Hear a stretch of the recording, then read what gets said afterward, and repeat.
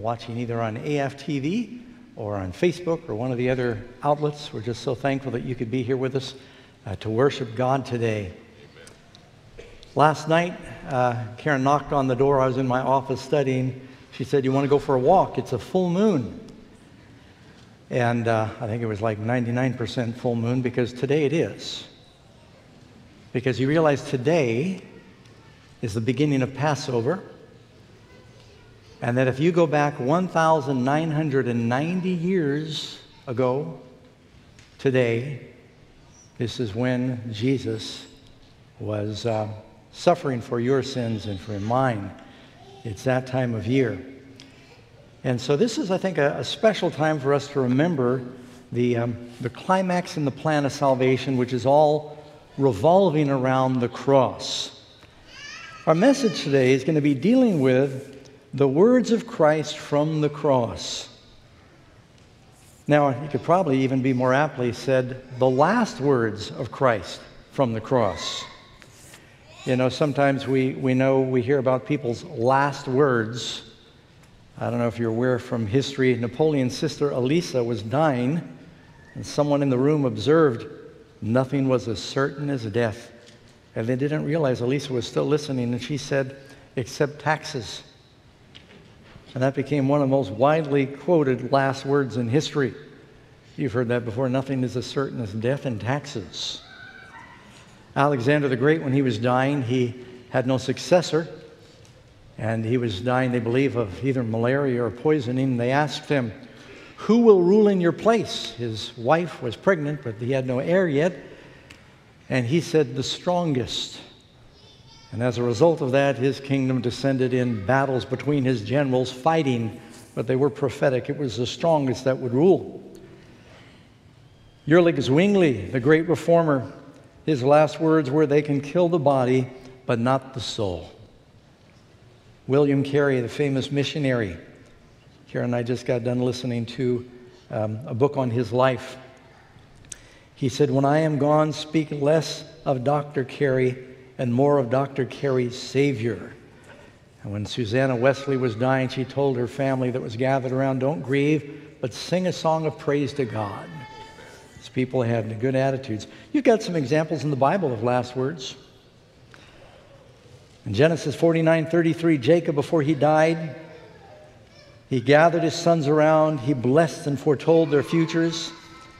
It says, When Jacob had finished commanding his sons, he drew his feet up into his bed and he breathed his last. He wanted to encourage and inspire his sons. Deuteronomy 33, verse 1. Now, this is the blessing with which Moses, the man of God, blessed the children of Israel. Moses blessed them before his death. Joshua gathered Israel together, and you know what he said? As for me and my house, we will serve the Lord. Some of his final words. He challenged them. David, before he died, 2 Samuel 23 1. Now, these are the last words of David He who rules over men must be just ruling in the fear of God, and he challenged them. Second Peter, you know, Jesus told Peter, You're going to die for me. Peter wrote in his last letter, Knowing shortly I must put off this my tabernacle, even as the Lord has shown me. Paul, before he died, he wrote in 2 Timothy, For I am now ready to be offered, and the time of my departure is at hand. I fought the good fight, I have finished the race, I have kept the faith. These are some of the last words of the Bible heroes. But of course, no last words are more important than the last words that Jesus spoke from the cross. Now, it's a great thing if you can have your kids learn the Ten Commandments. I hope they know that. And uh, I actually went to a Catholic school where the one thing that I learned was they told us to memorize the Beatitudes. And I think I could still do most of them. But how many of you have ever taught your children to remember the seven last statements of Jesus from the cross? You know, contained in the statements that Jesus made from the cross. So all of that is, it, none of it was by accident. Everything he said from the cross is calculated to tell us something about the plan of salvation, to bring us some encouragement, and even to challenge us. The last words of Christ are filled with very great importance. Now, you heard in our scripture reading those heart wrenching words of the crucifixion. And Jesus, from the time in the Garden of Gethsemane, where he said, Not my will, thy will be done for the last time, the third and the last time, he surrendered into the Father's hands that he would be the sin bearer. There was no other way to save you and me. And he went through an, a terribly excruciating torture, not just on the cross, and crucifixion was horrible. But then they would they'd whip you in advance, and he was probably also beaten by the Sanhedrin before Pilate had his soldiers work him over. Then he was beat up by Herod's soldiers, and he was he was uh, mocked and derided and spit upon, and they snatched out his beard, and and uh, just he went through this terrible suffering. All of it is really what we deserve for sin. But the greatest suffering for Christ was being separated from the Father. For the first time in eternity, there was a breach, a gulf, a chasm between the Father and the Son. And he was separated and experienced the darkness that every lost soul faces when you face the second death. And that was the thing that I thought uh, that we believe hurt him more than anything. You read in Luke 23 33, and when they came to the place called Calvary, there they crucified him and the criminals, one on the right hand and the other on the left. So we're going to take the next few minutes and we're going to look carefully at the seven statements Jesus makes from the cross. The cross of Jesus was the pulpit for his final earthly sermon before the resurrection. So he preaches a sermon to us in these words. Now I'm going to begin by summarizing those words for you so you just have them at least clear in your mind. First, you've got an appeal Father, forgive them. Then you've got words of affection. He remembers his mother and he commends his mother to John. You've got the words of assurance in what he speaks to the thief. You've got the words of abandonment where he says, My God, my God, why have you forsaken me? Then there are words of anguish when he says, I thirst. The words of accomplishment when he declares, It is finished. And ultimately, the words of acceptance where he says, Into your hands I commend my spirit. So let's take those statements and find out what we can learn from these words of Christ from the cross. First of all, you read in Luke chapter 23, verse 34, the first one. This is the words of appeal. He says in Luke 23, 34, Jesus said, Father, forgive them, for they do not know what they do. And they divided his garments and they cast lots, of course, fulfilling that prophecy that you find in Psalm 22. Think about that. The first thing that Jesus says as his crucifixion begins, Father, forgive them. In the Lord's Prayer, we say, Our Father. And so, really, we can say, Lord, Father, Jesus, your Son, interceded for me. He said, Please forgive them. I mean, what better argument can we have than the appeal of the Son? Now, some of you are thinking, well, that was just a specific prayer. Uh, that is not a prayer for the human race at large. Jesus is not saying, Father, forgive them, except he's talking about the Roman soldiers or the slaves that didn't realize what they were doing. And it's just them. I've heard preachers argue that, and pardon me, but they're arguing that in ignorance. No, Jesus is not just praying for the slaves that have to perform the crucifixion. I'm sure it includes them. But if you read in your Bibles in Acts 3, verse 17, Peter is preaching. He's preaching to the religious leaders, to the Jews, and he says, Now, brethren, I know that you did it in ignorance, as did your rulers. So when Jesus says, Father, forgive them, they don't know what they do. I don't think that most of them really knew. And there were some who had a lot of evidence they were fighting against. But even Paul, Paul thought he was serving God when he was killing Christians. He did it in ignorance. All of us are really sinning in ignorance to some uh, extent. So, this is a prayer that Jesus is offering for every one of us. And it's amazing. So often, when you hurt a person, I think it was Cicero, the Roman historian, that said when someone was crucified, it was so painful that they would curse everybody. They would curse the gods, they'd curse their family, they'd curse the soldiers, they would spit. And they were expecting that from Jesus. But as they began to go through the actual act of binding him to the tree and nailing his hands and his feet, and he'd already been just laying down with his back torn up the way it was and the crown of thorns, terrible suffering. From his lips pour forth love. You know, they say if you want to find out what's in a vessel, bump it. A lot of people, you bump them, you find out what's really inside. But when they bumped Jesus, when they pierced him, outflowed love. Earlier this week, I cut down a tree just out behind the church here. It was leaning and getting ready to fall. And as I was cutting, I smelt that sweet pine smell. It was a pine tree. And it's interesting, you cut it and it smells sweet. And Jesus, when he was pierced, outflowed fragrance. Love poured out. You couldn't get him to be hateful or angry. He would not sin. Jesus gave an example to the apostles. What did Stephen do when he was stoned? Three and a half years later, when Stephen died for his faith, he said the same things as his master. He knelt down and he cried with a loud voice, Lord, do not charge them with this sin, praying for the forgiveness. And did God answer Stephen's prayer? Paul was forgiven and was converted. The very one there who was at the execution. And he said this, he fell asleep. Isaiah 53, verse 12, in this prophecy of the Messiah, he bore the sin of many and he made intercession for the transgressors. Right there, when he was being pierced, he prayed. He interceded for those who were executing him right there at the cross. Now, what else do we learn from this? He's setting an example. Now, we embrace the forgiveness that Jesus offers us individually, that he offers others but also he's telling us to follow his example and be forgiving. If Jesus can pray, Father, forgive them for the people who are crucifying him, his own nation, then none of us can say he doesn't know what it's like to be mistreated. And he calls upon us to forgive. Jesus said, Luke 6:28, "Bless those who curse you, pray for those who spitefully use you." Jesus, in spite of his personal pain, he prayed for them. Matthew 6:14 If you forgive men your trespasses their trespasses your heavenly Father will also forgive you. But if you do not forgive men their trespasses neither will your Father forgive you your trespasses. I know that gets pretty raw sometimes. It's hard to forgive people that have really been mean.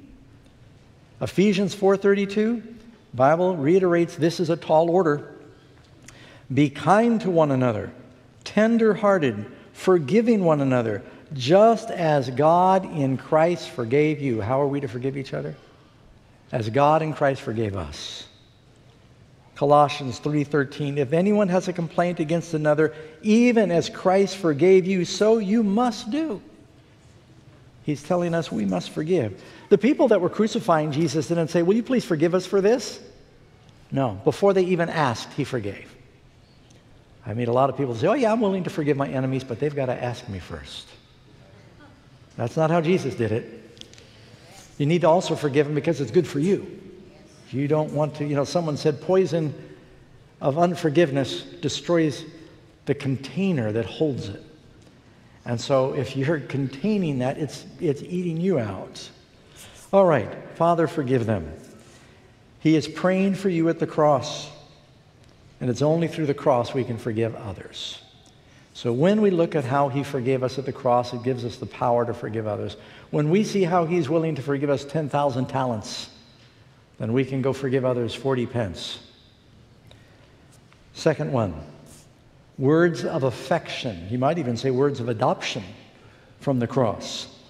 John 19, 26, Jesus is hanging there on the cross, and you realize he's, he's crucified about 9 in the morning and he's hanging on the cross seven hours in total, from nine in the morning till about uh, three in the afternoon, alive, and then he dies, and he's on the cross, basically keeping the Sabbath. He's on the cross resting for one hour. But while he was hanging there earlier on, at first everyone stood away because the mob was so outrageous, but eventually some of his followers drew near. And when Jesus saw his mother and the disciple whom he loved, ostensibly John the Apostle, standing by, he said to his mother, Woman, behold your son. Then he said to the disciple, Behold your mother. And from that hour, the disciple took her to be in his own home. Now, first, practically, let me just explain what's happening. Jesus is giving his last will and testament. They took away his clothes, you know, that's all he had. And then the other thing is he's taking care of the provision for his mother. Joseph, we believe, had died a few years earlier. You may not be aware of this, but Jesus' brothers and sisters that it mentions were probably half brothers and half sisters from Joseph. Jesus was, eh, you know, otherwise, logically, she would go into the house of one of her other children. But Jesus, knowing the commitment of John and how John loved Jesus, he said, I want you to watch out for my mother. He was also young, and this would provide for her for years to come. And it's believed, church, early church historians say that she stayed with John, he took care of her, and ultimately died in Antioch several years later. He kept that charge. But there's something much bigger that's happening here. When Jesus says, Woman, behold your son, what was the first prophecy in the Bible? That the woman would bring forth the seed that would destroy the serpent, Genesis 3:15. This prophecy was being fulfilled at this very moment. In the blood of Christ is the anti venom that destroyed the power of the devil. Jesus on the cross is crushing the head of the serpent. He says, You will bruise his heel. of course, his heels were pierced at that point. And so when he says, Woman, behold your son, that is a declaration for every believer through history as we are the church to look to the cross and say, This is the son that was foretold. This is the seed of the woman that we are to behold that destroys the head of the serpent. Can you say amen? So, this is a great fulfillment. This is the climax of that prophecy. You know, even at the birth of Jesus, Simeon in the temple, he blessed Joseph and Mary, and he said to Mary, Behold, this child is destined for the fall and rising of many in Israel, and for a sign that will be spoken against. Yes, a sword will pierce through your own soul also. This was a fulfillment of that prophecy. Mary stood there with a broken heart and you know, even his own mother did not understand the nature of those prophecies. She thought that at some point he was going to use his power and set himself up as the popularly expected Messiah. But before the crown came the cross, and most of the disciples did not understand that. Her soul was pierced.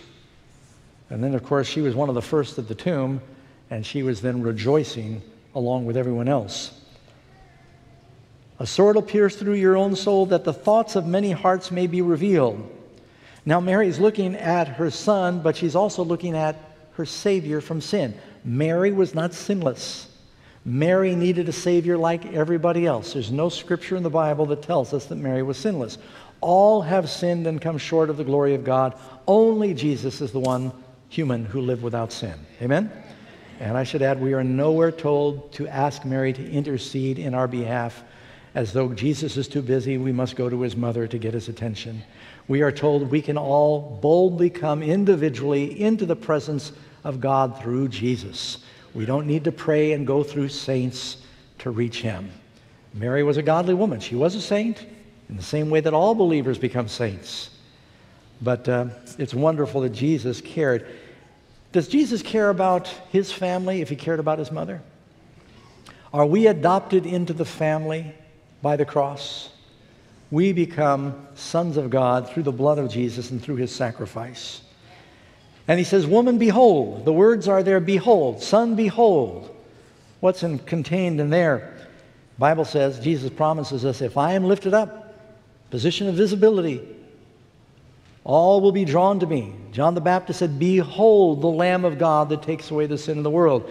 Paul tells us in Hebrews chapter 12, let us lay aside every weight and the sin that does so easily beset us, and let us run that race with endurance, looking unto Jesus. By beholding him on the cross, makes it a little easier for us to run the race and lay aside the sin. You know, it's hard for me to make excuses for my petty sins when I look at Jesus on the cross.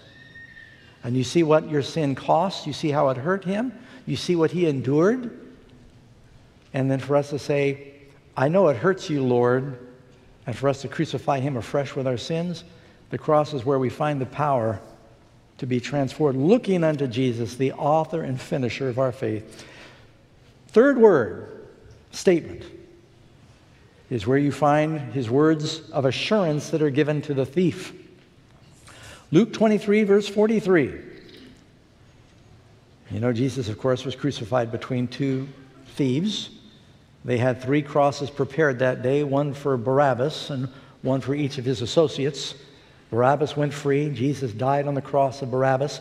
By the way, you and I are like Barabbas. He takes our place, He is our substitute. And there's a thief on the right and there's a thief on the left. Jesus is crucified right in the middle. As the prophecy said, he'd be numbered with the transgressors, right in the midst. And as they're hanging there, at first, everybody engages in mocking him. And even the thief on the right and the left, they said, If you're the Savior, save us. Can you do anything? But as the hours drag on, the thief, ostensibly on the right, it doesn't say specifically in the Bible, but you know, since Jesus separates the sheep and the goats, and the goats are on the left and the sheep are on the right, I'm assuming this was the sheep, and so he's on the right. I can't prove that, but you can't disprove it, so we're going to say he's on the right. So,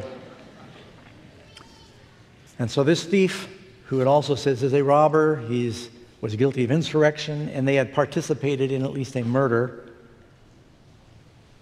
that uh, realizes he's dying. He looks at Jesus, and something happens along the way. He sees them gambling for his clothing and casting lots, and he remembers Psalm 22. He looks and he sees his hands and his feet pierced, and he remembers Psalm 22. He sees the sign above the head of Christ on the cross. This is the King of the Jews. Remember, they wanted to change that. Pilate said, I'm not changing it. What I've written, I've written. This is the King of the Jews. And the Holy Spirit sees him he heard when they were being crucified, he heard from the background noise, he heard Jesus pray, Father, forgive them. And he thought, what kind of man is this? Maybe as he hung on the cross, he saw some of the others weeping and saying, He raised my child to life. He healed my, my diseases. And, and the mind is, you know, things happen very quickly when you're dying. Quickened by adrenaline and inspired by the Holy Spirit, he suddenly sees in Jesus, this is the Lamb of God that takes away the sin of the world. And while everybody around the cross is mocking Christ, he makes that statement and he says, Lord, remember me when you come into your kingdom. Now, friends, this is phenomenal. It really is. Because nobody, even his apostles at the cross, were not calling him Lord. Furthermore, the man said, When you come into your kingdom, that implies you've got a king. Now, that takes incredible faith because Jesus, hanging on the cross, all but naked, bleeding, beaten, defeated, nearly blue, does not look like he can save anybody. To call him a king, to call him a Lord, took incredible faith. And I think the whole crowd suddenly got very quiet.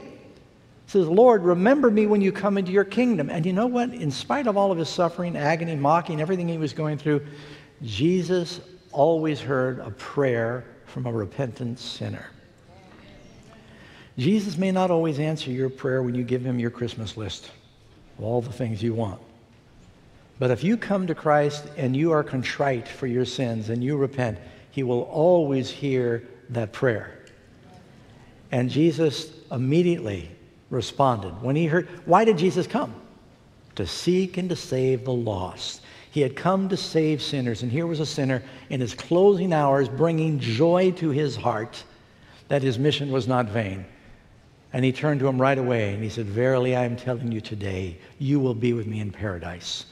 Now, I've got to clear this up. It happens whenever we read this verse. Some people think that that thief went to be with Jesus in paradise that day. It's because of where the comma is placed in the translation. Popular English translations say, Verily I say unto you, to, verily I say unto you, comma, today you'll be with me in paradise.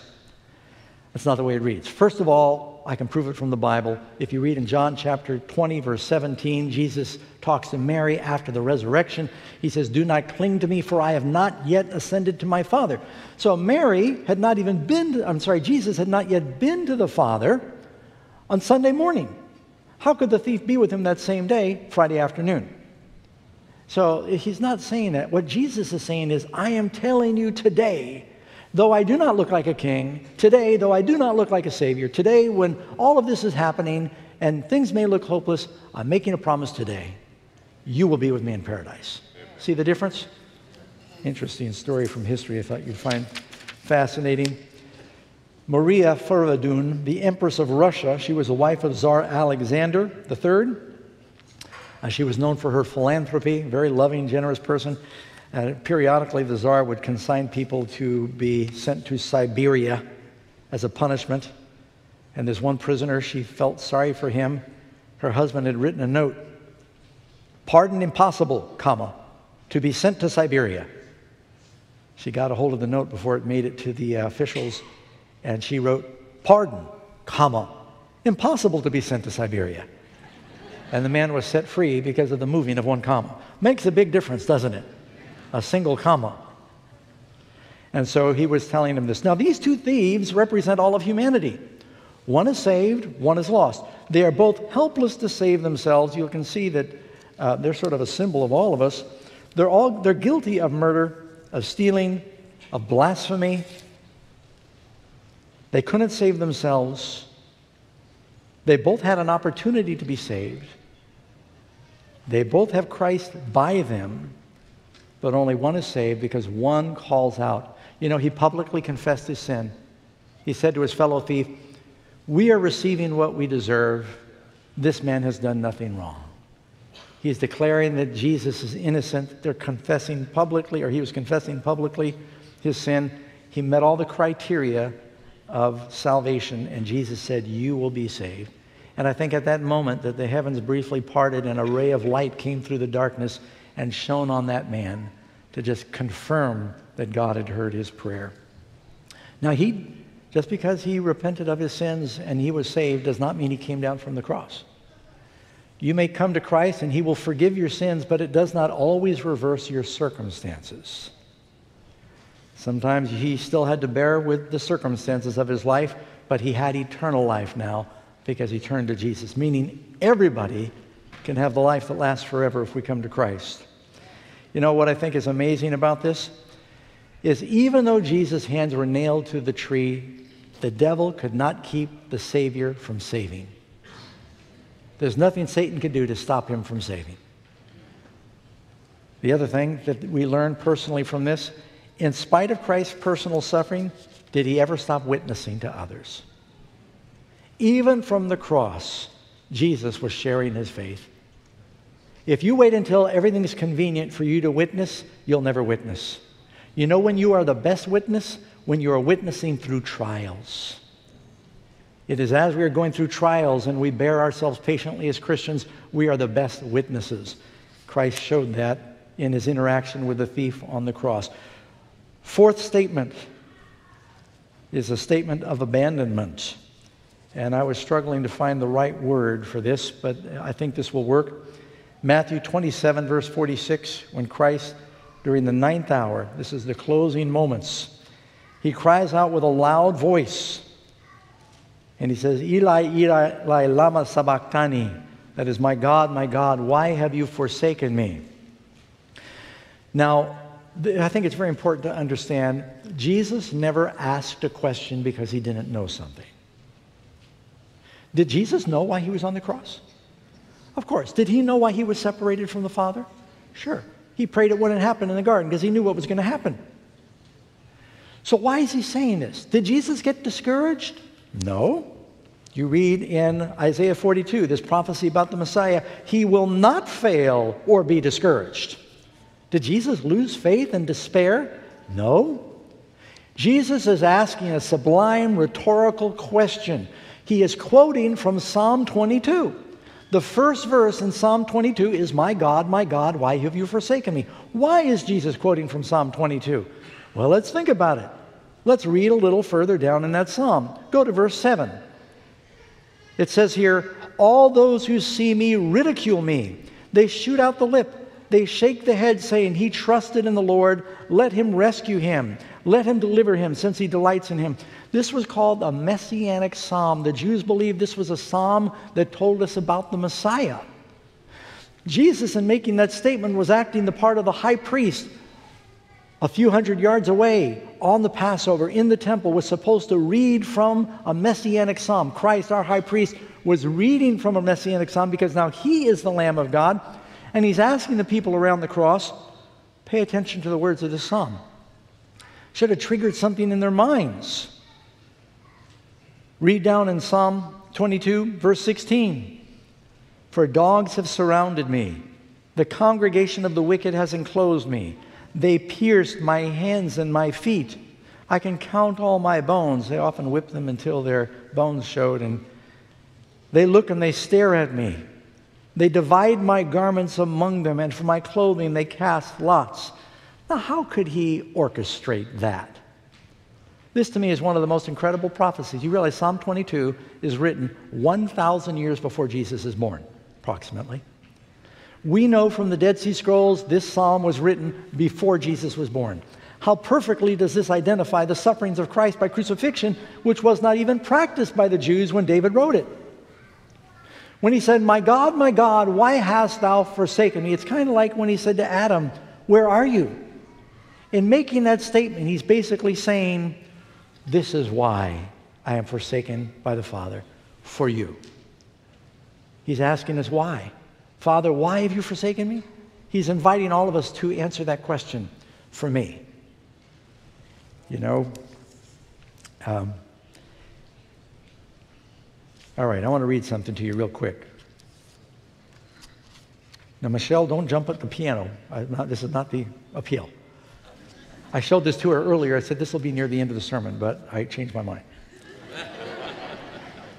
this is from the book Desire of Ages just a, a, beautiful statement, and it's from page 756. This is that classic on the book of Christ. If you've never heard of it before, you should read it Desire of Ages.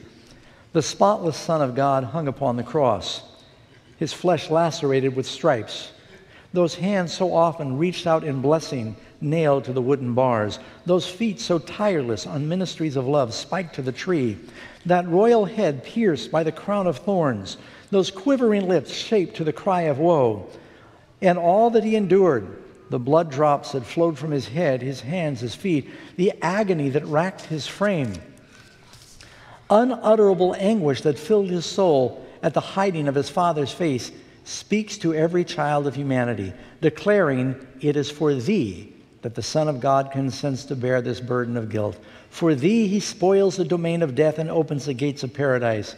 He who stilled the angry waves and walked the foam capped billows, who made devils tremble and disease flee, who opened blind eyes and called forth the dead to life, offers himself upon the cross as a sacrifice, and this from love to thee. The love of God is best demonstrated on the cross. This is why Paul says, I'm determined to know nothing among you except Jesus Christ and Him crucified the fifth statement of Jesus on the cross his anguish. John 19 28. After this, Jesus, knowing that all things were now accomplished, that the scripture might be fulfilled, said, I thirst. What scripture is being fulfilled? Well, a lot of scriptures are being fulfilled. But there's even a scripture about his thirst. You read in Psalm 22, I deliberately left out verse 15 and saved it till now. My strength is dried up like a potsherd. My tongue cleaves to the roof of my mouth. You've brought me to the dust of death. It talks about his thirst. You read also in Psalm 69 21, they gave me gall for my food, and for my thirst, they gave me vinegar to drink. You know, I think it's fascinating that the first miracle of Jesus, and John emphasizes this in John chapter 2, in Cana, he turns water into pure grape juice. He didn't make booze, it's pure grape juice. At the Last Supper, he calls it new wine. He says, I'll not drink this again until I drink it with you new in my Father's kingdom. He gives it at a wedding feast. Now he is dying on the cross. Man offers him sour wine. He basically makes a transfusion. He says, I'm going to take your sin.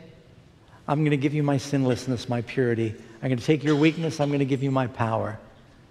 And they gave that to him for his thirst. I don't know that he was able to taste very much of it because as they offered it to him, they misunderstood what he was saying when he said, Eloi, Eloi, lama sabachthani. In Aramaic, it sounded like he was saying Elijah with the crowd and everything. And some of the religious leaders said, Don't give him anything to drink. Let's see if Elijah helps him. So no sooner had they put the sponge to his lips than they pulled it away again. But that gave him just enough for his last words that we'll get to in just a moment. But here it foretells his thirst. Psalm 42, verse 1, David says, As the deer pants for the water brooks, so my soul pants for you, O God. My soul thirsts for God, the living God. When shall I come and appear before God? As I was studying this the other day, I had to get up and go get something to drink. It just made me thirsty thinking about it. John 19, verse 34 when the soldiers pierced his side following his death, immediately blood and water came out, separated. He was thirsting that he might provide us with that water of life. You remember, it's John in his gospel, the only one tells us about the Samaritan woman at the well. Jesus said, Whoever drinks the water that I will give him will never thirst, but the waters that I give will be in them a well, a fountain of water springing up. It's artesian unto everlasting life. He gives you the Holy Spirit, and it continues to satisfy you as you keep the well clean by prayer every day. You pray for God's Spirit every day. It will refresh your soul. The Bible promises your cup will run over. Amen. Jesus said, Blessed are those who hunger and thirst for righteousness, for they will be filled. Jesus, separated from the Father, bearing our sins, said, I thirst. He was feeling the thirst for righteousness because he had lost righteousness. He was carrying our sin at that moment. I thirst. Are you hungering and thirsting for righteousness? The promise is if you do, you'll be filled. You will search for me, and you'll find me when you search for me with all of your heart. It's a hunger, it's something you crave. If food starts getting later and later, you find some way to solve it, don't you? You become very motivated. If you, if you get hungry enough, you start thinking about where can I pull over? Where can I get some money? It's a drive. And do you have that drive for holiness? You hunger for righteousness? And Jesus challenges us to have that. Statement number six is accomplishment. I held up my hand, but I've only got five fingers. So it's six. And that's in John 19, verse 30. Jesus, when he received the sour wine, he said, It is finished. Now, this is one of the most glorious statements on the cross. Matter of fact, when he makes the statement, in Matthew, Mark, and Luke, they all say with a loud voice. It emphasizes with a loud voice. Now, here he's been choked and thirsty, and maybe that little taste of the sour wine just cleared his throat enough. But um, there was a, a Holy Spirit inspired roar that came from Jesus. And it was a word, these are words of triumph, words of accomplishment. His mission is successful. Now, the Greek word here, when it says it is finished, is teleo. And teleo doesn't mean, uh, you know, just like you finished your homework so much as it means like a bill is paid in full. So when he said it is finished, he was saying our debt is canceled. That he had drank the very bottom dregs of the sin of the world. He'd taken it all within himself. He'd paid for the sin of every human who has ever lived, who is living now, or who will ever live. He'd taken it all. He fulfilled the prophecies, he fulfilled the promises, he fulfilled the, the provisions were fulfilled. Christ said in Luke 12, verse 50, But I have a baptism to undergo. How distressed I am until it is completed. Jesus was distressed. He wanted to get through it. He did not want to fail until he knew that we could be redeemed. For the joy that was set before him of you and I being saved, he endured the cross. And finally, word came from the Father, it is enough. And Jesus roared with triumph, it is finished. You know, there's a couple of commentators I'd like to quote. First one, I did not make a note of who it is. I forget it. Maybe John Gill. The toils in ministry, the persecutions and mockeries, the pangs in the garden and the cross are ended. Man is redeemed. What a wonderful declaration was this! How full of consolation. Adam Clarke said, It is as if he said, I have executed the great designs of the Almighty. I have satisfied the demands of his justice. I have accomplished all that was written in the prophets and suffered the utmost malice of my enemies. And now the way to the Holy of Holies is made manifest through my blood, an awful yet glorious finish. Through this tragic death, God is reconciled to man, and the kingdom of heaven is open to every believing soul. What a wonderful promise. That declaration, it is finished. It was a, it's a declaration of triumph.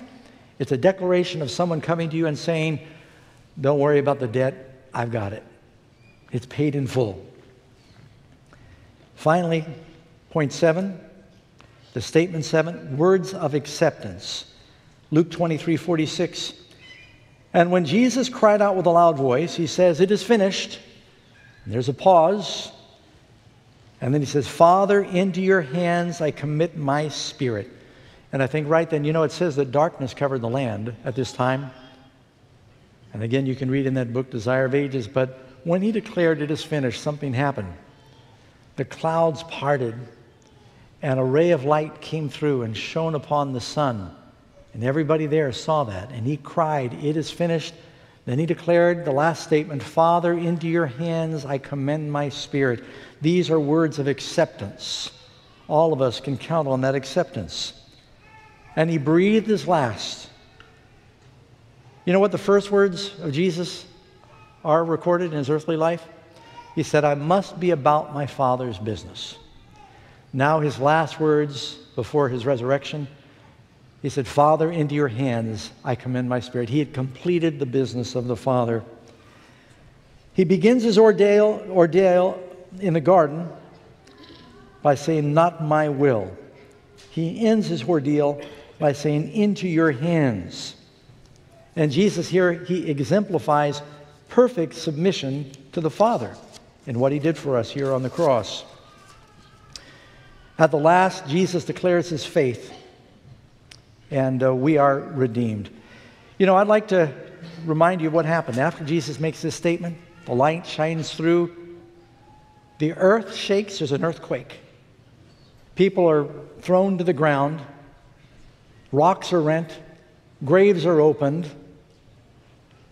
Uh, this is so stunning that a Roman soldier, a centurion who's there to guard and oversee the execution, he says, Surely this was the Son of God. He sees all of nature is responding to his declaration. Now, that's what's happening out on Golgotha. In the temple at that very moment, the priests are getting ready to offer the sacrificial lamb. Again, I'm reading from that favorite book, Desire of Ages. With a loud cry, It is finished, came from the lips of Christ. The priests were officiating in the temple. It was the hour of the evening sacrifice. The lamb, representing Christ, had been brought to be slain. Clothed in his significant and beautiful dress, the priest stood with lifted knife, as did Abraham when he was about to slay his son. With intense interest, the people were looking on. But the earth begins to tremble and quake, for the Lord himself draws near. With a rending noise, the inner veil of the temple is torn from top to bottom by an unseen hand. Now, according to um, Alfred Edersheim, the um, a historian, he says that veil was 60 feet long, 30 feet wide, and as thick as the palm of a man's hand, woven in 72 separate squares. It was a massive veil. Suddenly, from top to bottom, right down the middle, it is torn by an unseen hand, like the hand that wrote on the walls of Babylon's banquet hall. It's rent in twain during this earthquake. The stones in this temple begin to jiggle in their places on one another. Here's where God had manifested his glory above the mercy seat. And they can look in now and say, the mercy seat, the ark is not there. It had never been recovered since it was hidden by probably Jeremiah and some of the priests before the Babylonian captivity. No one but the high priest was to ever lift the veil and look inside this place. He just entered once a year but now it's torn in two. The most holy place of the earthly sanctuary is no longer sacred. All is terror and confusion. The priest is about to slay its victim, but the knife drops from his nerveless hand and the lamb escapes. Type has met antitype in the death of Jesus, God's Son. The great sacrifice has been made. The way to the holiest is laid open. A new and a living way is prepared for all. no longer needs sinful, sorrowing humanity to wait the coming of the high priest. Henceforth, the Savior was there to officiate as priest and advocate in the heaven of heavens. It was as if a living voice had spoken to the worshippers There is now an end to all the sacrifices and offerings for sin. The Son of God has come according to his word. Lo, I come. In the volume of the book it is written to me to do your word, O Lord. By his own blood he enters in once into the holy place, having obtained earthly redemption for us. Now, through the blood of Christ, we can go directly to the Father. When Jesus said, It is finished, and he said, Father, into your hands I commend my spirit, type met antitype. This is a great changing part in biblical history. The whole sacrificial system, it met its fulfillment. Christ is the Lamb of God, and it's through his blood that we all can come directly to the Father and be forgiven. You know, friends, I think that this is a wonderful truth. And I hope that as years go by and as you're a Christian, that the story of the cross does not, you don't become hardened or callous to it. Uh, we don't become numb. You know, it's not appropriate that I should talk to you about what Jesus did for us on the cross and those statements of Christ without giving you an opportunity to respond to that. What he said to that thief Today you can be with me in paradise. He said, I'm telling you today, he can promise you today, you can be with him in paradise. What he said to the soldiers, Father, forgive them. They don't know what they're doing. He wants you to be forgiven. Talking about last words, the uh, German poet Heinrich Heine, when he was dying, his last words were, Forgive me. Yes, God will forgive me. That's his business. And Jesus came into the world to seek and to save the lost. So, what must I do to be forgiven? It'd be a shame for you to leave today and be like that thief on the left who died in his sins. Everybody's going to be on one side or the other. Jesus from the cross was like Jesus on his judgment throne between those two thieves. Are you going to be the one who calls out and says, Lord, remember me? Just by faith, he called out. He confessed his sins. He was sorry for his sins and he accepted the free gift. The gift is being offered. Jesus says, I am giving my son. God so loved the world that he gave his son there on the cross. He suffered for all your sins. And when you see him there suffering, if you were the only one who had ever sinned, he would have had to go through that just for you. And now God says, Did he die for you in vain? The Father asks you, Did he die for you in vain? Or are you willing to repent of your sins and accept me? You just simply say, Yes, Lord, I come. I want to accept that forgiveness. And then He gives you the gift of the Holy Spirit. Repent of your sins. When you get off by yourself, kneel down, confess your particular sins to God, and ask for strength. And pray and plan by His grace to live in a newness of life. He won't ask you to do something without giving you the power to do it. Do you believe that, friends? There may be some here today and you've kind of grown numb about your Christian experience and you need that renewal. Or maybe you've never made that decision to really take up the offer of salvation Jesus gives on the cross. You can do that right now. Before we sing our closing song, if you'd like to do that, I invite you to stand. And there may be some who are watching. You can make that decision. We know there are many at home that are tuning in. You'd like to say, Yes, Lord, I want that mercy. I want Jesus' blood to cover my sins. I want to be forgiven. And let's accept it. So all of us today can hear Christ say, I'm promising you today, you will be with me in paradise. What a wonderful promise that we could have eternal life and all our sins forgiven.